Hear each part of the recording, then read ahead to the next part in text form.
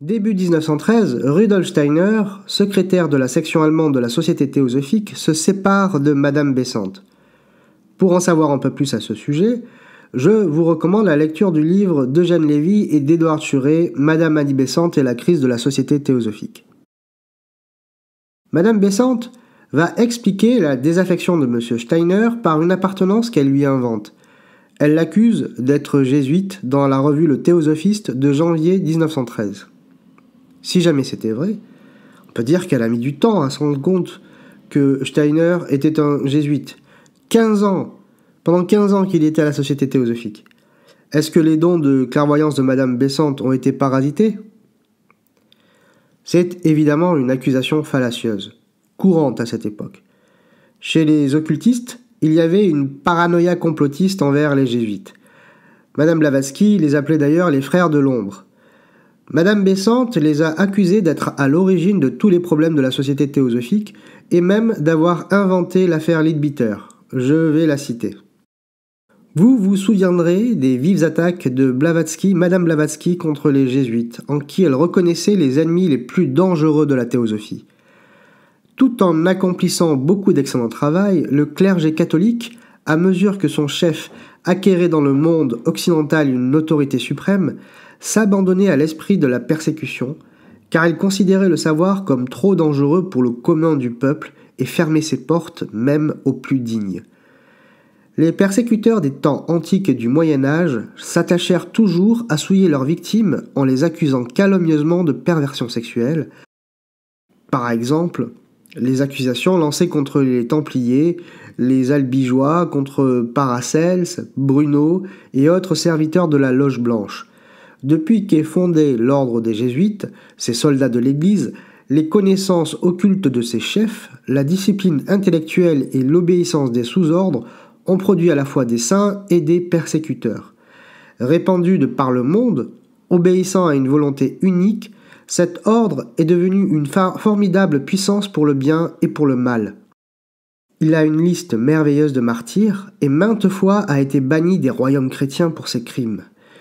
Étant lui-même dépositaire du pouvoir occulte, il cherche à briser tout ce qui y atteigne en dehors de sa propre discipline, et n'ayant plus le pouvoir de faire périr, il emploie l'ancienne arme mortelle pour ruiner les réputations.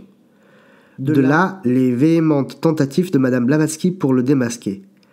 Elle voyait en lui l'incarnation des forces sombres qui combattent sans cesse contre la lumière, et leur arme la plus meurtrière. Sous sa forme la plus basse, il est à l'apogée de sa force dans l'Amérique du Nord et en Australie, car dans ces pays, l'Église catholique romaine cherche à s'attacher la démocratie, et elle a dans les jésuites des soldats sans scrupules. Contre Madame Blavatsky, on fit servir de nouveau la vieille arme et on l'accusa de la pire débauche. Ceci fut plus meurtrier que les attaques ouvertes des Coulons. La même politique fut mise en œuvre contre celui qui a rang après elle parmi les instructeurs que la Société théosophique a possédés, mon frère Leadbeater, qui a traversé un enfer d'accusations de la plus infâme espèce.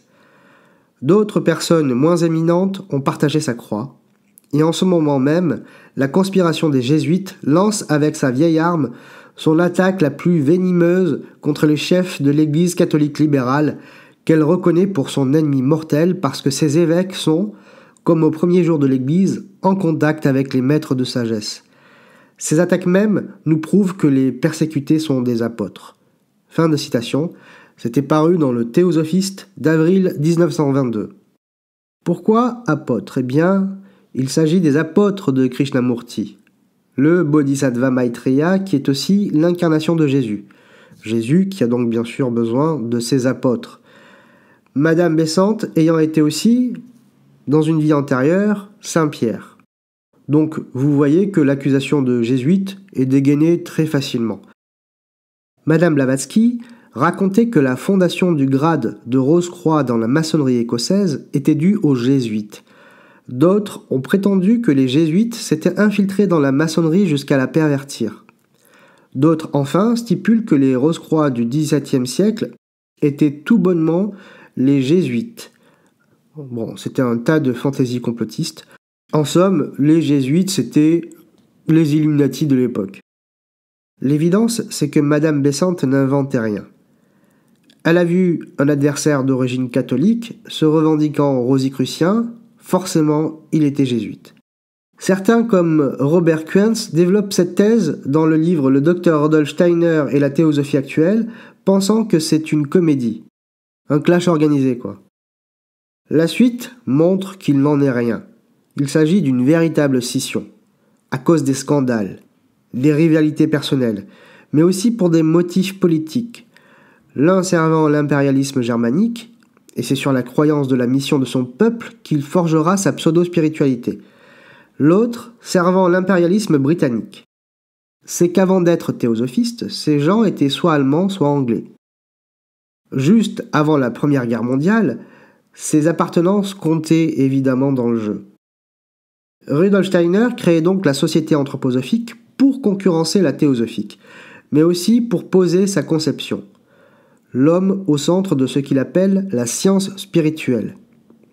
C'est en cela que nous sommes en plein New Age, soit ce type de spiritualité née à cette époque, tentant de mêler science rationnelle et spiritualité occultiste. Il faut signaler que le néologisme anthroposophie n'est pas une trouvaille de M. Steiner. Comme Mme Blavatsky, il n'a rien inventé. Déjà, en 1650, le rosicrucien Eugenius Philaletes, alias Thomas Vaughan, publié Anthroposophia Magica. Comme toute bonne société, celle de M. Steiner possède la devise La sagesse n'est que dans la vérité. Là encore, il n'invente rien, puisque la société théosophique a pour devise Il n'y a pas de religion plus haute que la vérité. Une devise qui est empruntée à celle des Maharajas de Benares. Enfin empruntée, elle est surtout très mal traduite. La devise des Maharajas de Benares est celle-ci Salyat Nasti Paro Dharma. Dharma a plusieurs sens, mais certainement pas celui de religion. Le terme loi lui correspond un peu plus, bien que ce ne soit pas totalement satisfaisant. On ne peut pas vraiment le traduire en français, ni même en aucune langue européenne. Le dharma est un concept qui n'a pas d'équivalent dans nos langues occidentales. C'est d'ailleurs le cas de nombreux termes sanscrits. Bref. Voici les principes de cette nouvelle société décrits dans une brochure de propagande au titre d'esquisse des principes d'une société anthroposophique. Je cite.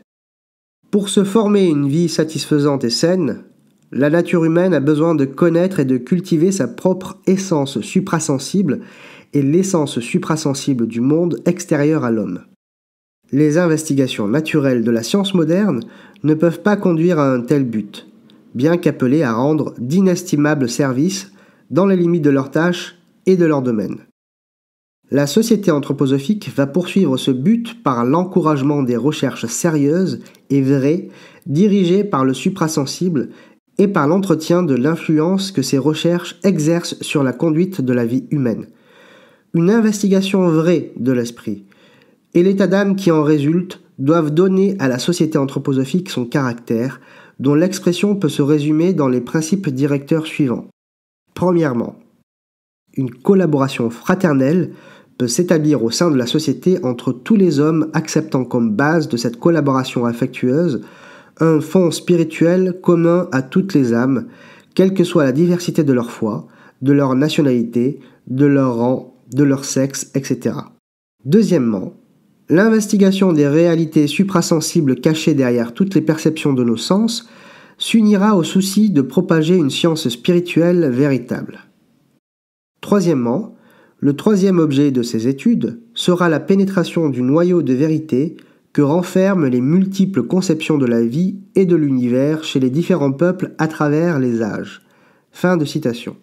En fait, il s'agit des mêmes tendances que celles qui ont été imprimées par la société théosophique l'idée de fraternité universelle, un certain moralisme, le développement de la clairvoyance. Bien sûr, comme la société théosophique, la société anthroposophique affirme ne pas être une religion, ne pas vouloir se rattacher à une croyance particulière.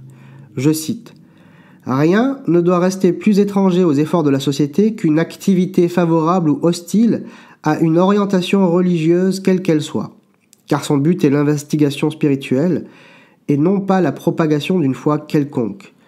Aussi, toute propagande religieuse sort-elle de ces attributions Fin de citation. Pourtant, les deux, en fait, sont des religions. Mais vous comprenez que ces déclarations de principe tiennent plus du marketing. Je cite encore. L'investigateur spirituel qui contemple les plus nobles créations du génie humain au cours de son développement, ou qui approfondit les conceptions philosophiques ou les dogmes de tous les peuples et de tous les temps, ne s'attachera pas à la valeur même de ces dogmes ou de ces idées. Il les considérera comme une expression de l'effort humain, tendu vers la solution des grands problèmes spirituels intéressant l'humanité. Ainsi, une désignation empruntée à une confession particulière ne saurait-elle énoncer le caractère fondamental de la société? Fin de citation. On en conclut donc que les religions sont de simples conceptions philosophiques, des faits humains, ce qui a un point de vue anthroposophique, voire anthropologique. Je continue à citer. Si, par exemple, l'impulsion imprimée à l'évolution humaine par la personnalité du Christ est étudiée au cours des investigations de la science spirituelle, cette étude ne procédera pas des données d'une confession religieuse. Le résultat obtenu pourrait être accueilli par le croyant d'une confession quelconque, au même titre qu'un fidèle de la religion hindoue ou du bouddhisme se familiariserait avec l'astronomie de Copernic, qui ne fait pas davantage partie de ces documents religieux. Cette impulsion attribuée au Christ est le résultat exclusif d'investigation. Elle est présentée de façon à pouvoir être admise par les croyants de toute religion, et non pas seulement par les fidèles chrétiens à l'exclusion des autres. Fin de citation. Là, on nage en plein New Age, entre syncrétisme religieux pris pour des conceptions uniquement philosophiques et science copernicienne. Cette brochure a été composée par ce qui est appelé le comité fondateur siégeant à Berlin et composé du docteur Karl Inger, de mademoiselle Marie von Sievers et de M. Michel Bauer. Le nom de Steiner n'est pas cité. Et pour connaître le fond de sa pensée, à l'époque, il faut lire ses livres. Et on comprend très vite, à partir de ceci, qu'il s'agit d'une espèce de christianisme ésotérique qu'on retrouve d'ailleurs chez les théosophistes. Dans la science occulte de Rudolf Steiner, on lit ceci, je cite. Le disciple, par la force de son initiation, se trouve initié au mystère auguste qui est uni au nom du Christ. Le Christ se montre à lui comme le grand idéal terrestre. Lorsque l'intuition a ainsi reconnu le Christ dans le monde spirituel, le disciple comprend le fait historique qui s'est passé sur la terre au cours de la période gréco-latine, et comment le grand être solaire que nous appelons le Christ est alors intervenu dans l'évolution. C'est pour le disciple une expérience personnelle que la connaissance de ce fait. Fin de citation. Rudolf Steiner se débarrasse en fait de la façade simili-orientale des théosophistes. On ne parle pas de bodhisattva, mais de grand être solaire. Pour celui qui va devenir le prophète de l'anthroposophie, le Christ est la manifestation d'un principe plus élevé.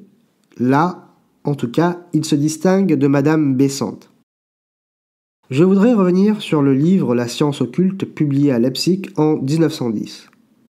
Un an avant, en 1909, paraît à Seattle un autre livre qui a pour titre The Rosicrucian Cosmoconception, écrit par Max Heindel.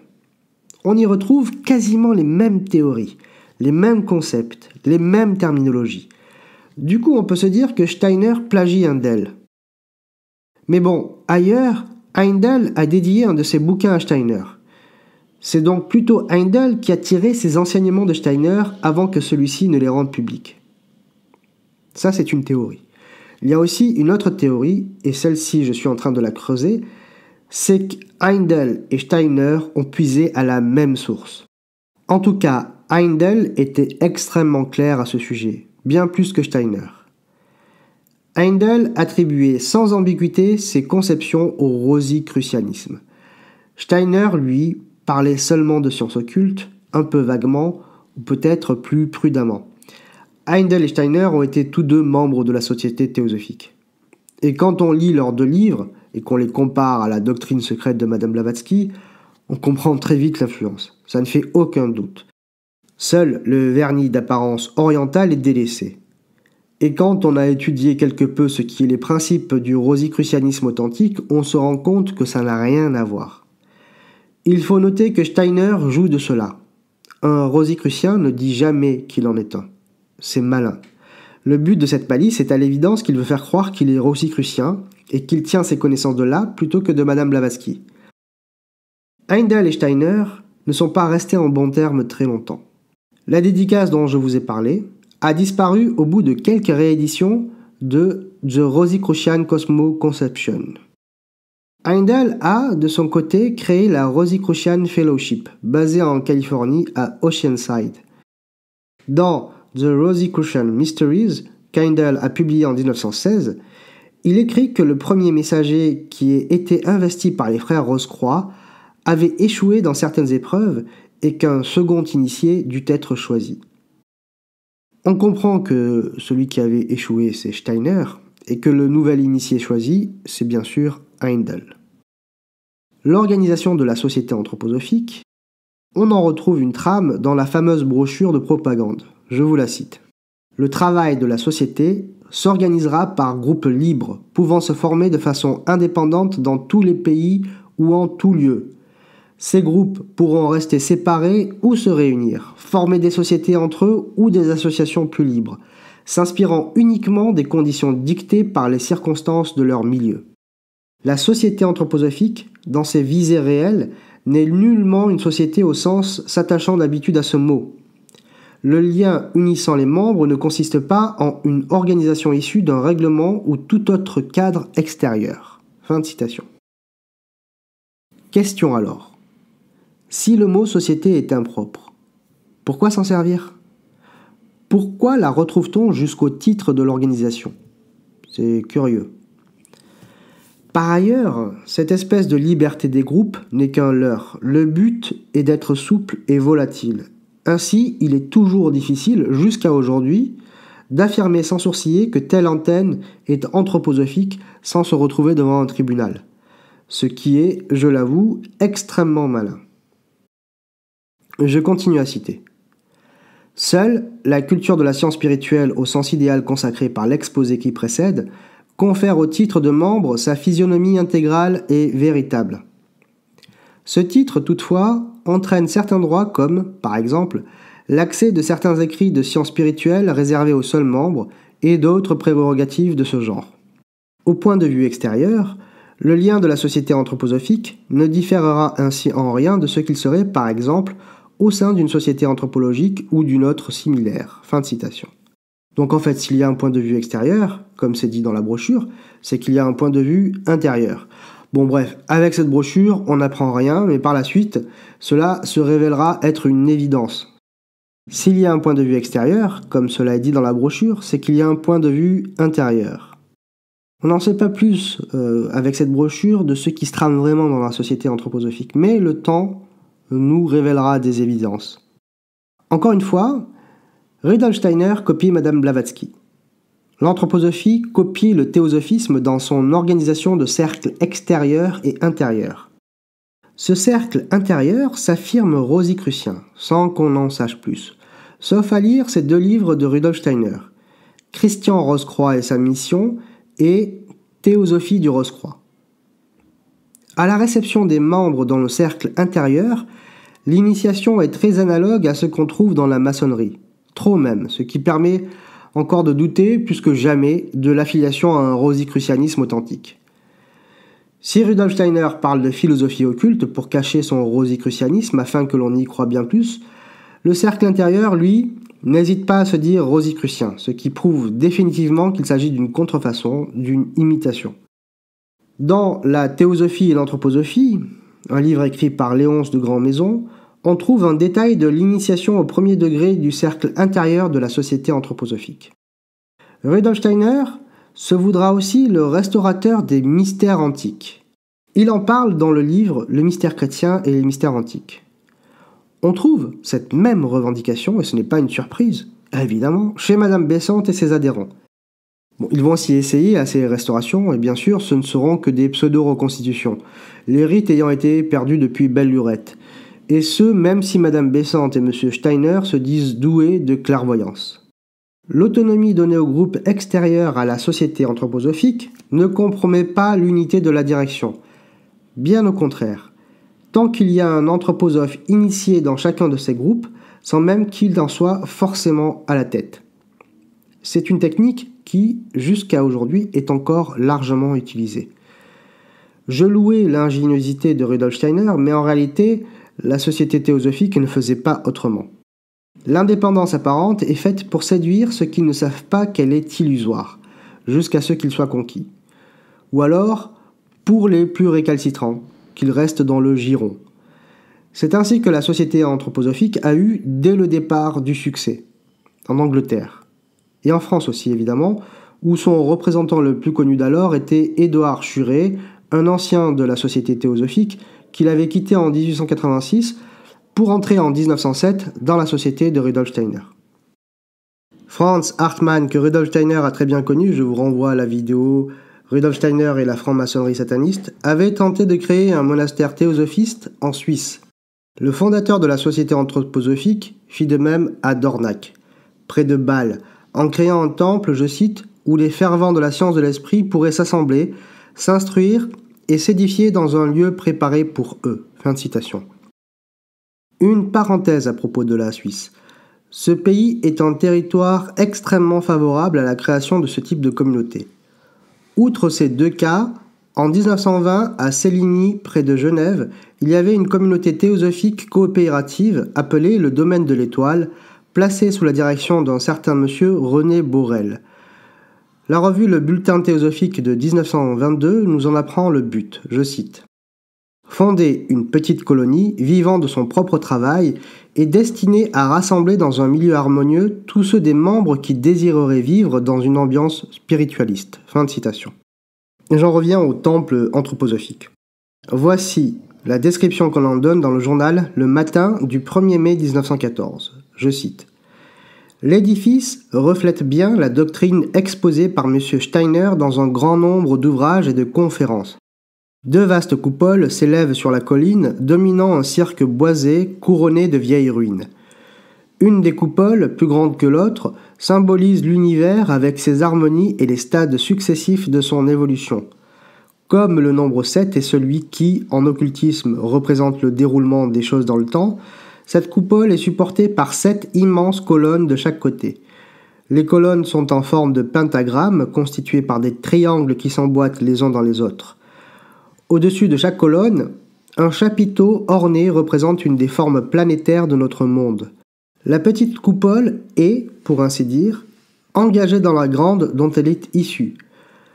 Sous cette coupole règne le nombre 12, celui de l'espace.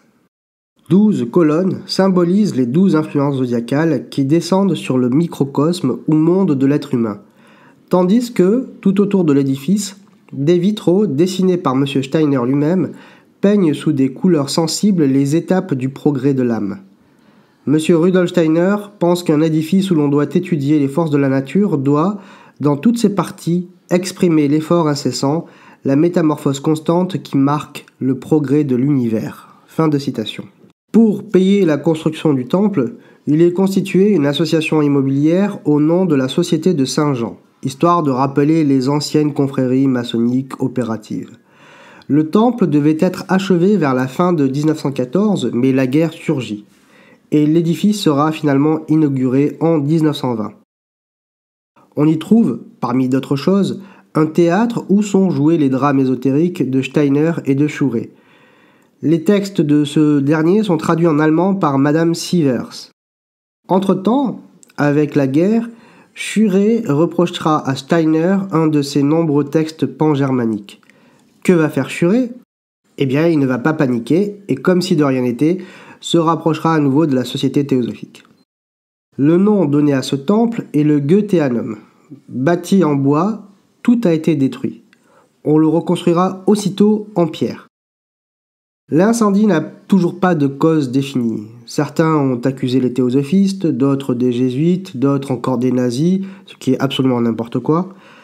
En tout cas, ça a fait la une des journaux. Voici ce qu'on en lit dans le journal L'Écho de Paris du 10 janvier 1923. Je cite.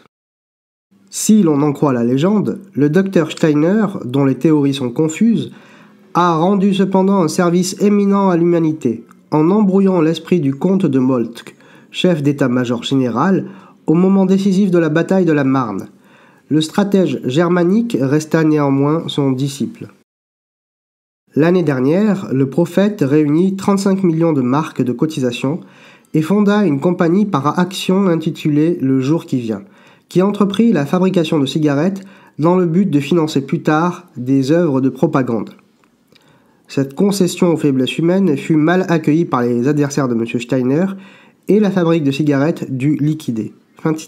En tout cas, il avait évidemment une grande influence sur ses disciples, qui étaient plus de 4000 en 1914, dont beaucoup de femmes qui l'admiraient et le vénéraient, ce qui lui causa d'ailleurs quelques problèmes, mais on va passer sur ces histoires hum, qui ne nous regardent pas.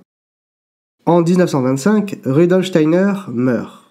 Et l'anthroposophie lui survivra jusqu'à devenir le mouvement New Age le plus important aujourd'hui.